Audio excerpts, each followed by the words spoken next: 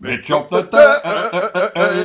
Well, they published all the details of the BBC's main star's salaries, and uh, this year, for the first time ever, I actually get to bitch about the license fee. Still not going to. Bitch, bitch, bitch, bitch, bitch, bitch of the day.